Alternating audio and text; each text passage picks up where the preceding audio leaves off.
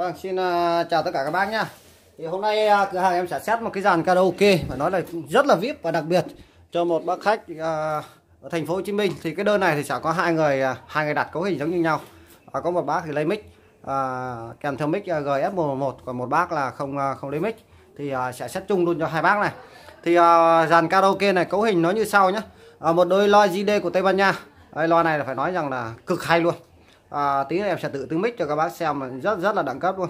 Thì loa này là 13 triệu một con đẩy PD PX 2008 là 6 triệu 2 à, con vang D4 này thì em bán là à, 2 triệu 8 tuy nhiên là các bác lấy dàn thì em để cho các bác 2 triệu rưỡi luôn cho nó toàn số. Đó là con con à, D4 nhá. D4 là 2 triệu rưỡi. À, cho các bác là đi tham khảo bất kỳ nơi nào mà bán con này 2 triệu rưỡi là không bao giờ có. Đấy, con vang D4 này của CB nhá. Đây là một thương hiệu của Mỹ à, rất là là là hay. Con này thì gọi là nổi tiếng từ xưa này rồi. Một trong những gọi là tên tuổi ở trên thị trường thậm chí là còn nổi hơn cả X5 luôn. À, một bộ mic D Acoustic GS111 à, giá là 4 triệu 500 ngàn đồng. Đấy. Thì toàn bộ cái dàn này thì à, à nó rơi vào tầm à, hơn 20 triệu. Đấy. Thì à, bây giờ sẽ test cho các bác xem. Thì à, thực sự là test cái dàn này thì à, à, loa rất là xịn hát rất là sướng và trước khi mà gửi cho các bác thì bên em còn test rất là, là kỹ à, xét à, cấu hình. Đầy đủ cho các bác là ba cấu hình luôn. Ba cấu hình ở trên à, trên con vang ở mặt trước ở chỗ ba dưới ba cái núm tròn tròn chỗ tay em chỉ đấy đấy chỗ tay ấy là ba cái chế độ. Thì em sẽ xét cho một chế độ số 1 là chế độ hát bình thường chế độ số 2 dành cho người nào hát kém hơn một chút. Và chế độ số 3 là người hát tốt và là chế độ nghe nhạc luôn.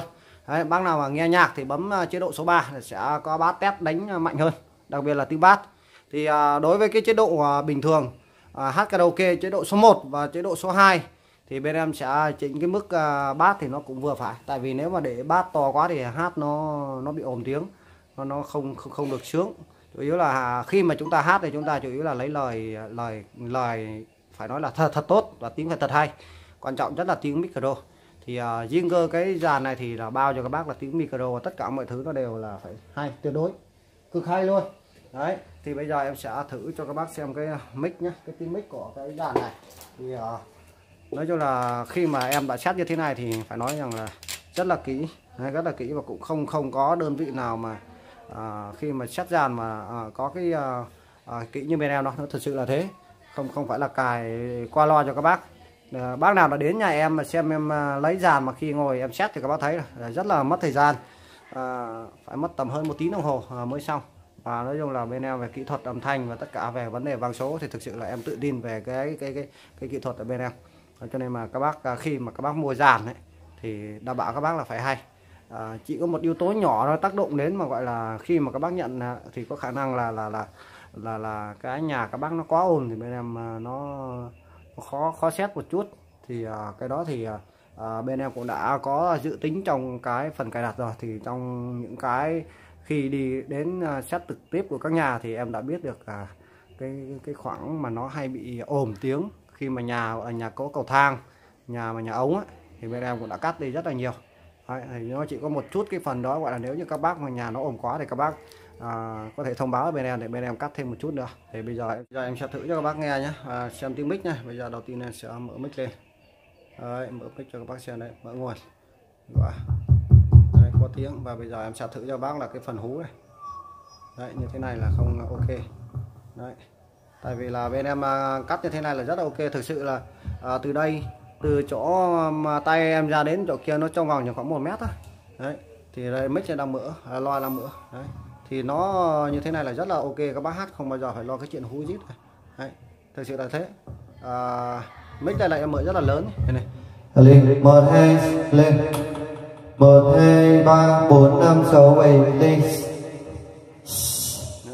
Đấy. như thế này là ok không bác? Đấy đấy. Làm sát như thế này nếu như mà thực sự là nếu như mà kỹ thuật không tốt thì sát như thế này thì rất là hú. Khi mà các bác ngồi gần và mở mic lớn như vậy nè và bây giờ em sẽ hát thử một đoạn coi nhá. Lên một hai lên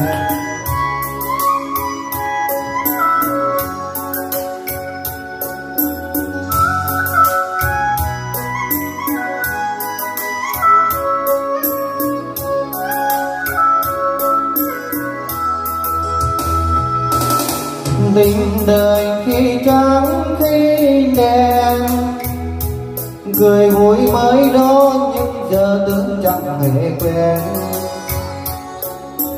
Gặp thì người thơ làm như chẳng biết bao giờ. Tình nghe xưa chỉ còn lời nói hừng hờ. Cuộc đời khi có cho không? Rồi khi tuôn thiếu coi người có đòi được không? Dẫu thì nhiều người theo quanh nhiều trong vắng khi nghèo lời nói yêu thương đành trả lại người thôi. Nhìn cuộc đời cánh sao không vừa tay với, nhìn lại mình sao tay còn đang trắng tay bao lời yêu tiếng tương sao giờ giá vời trong bóng đêm trầm trung ngồi một mình thôi Đấy các bác nha, em đã vừa test thử và bác nào có nhu cầu thì ờ, liên hệ trực tiếp với cửa hàng em nhé. Xin ờ, cảm ơn các bác nhé. Xin chào các bạn.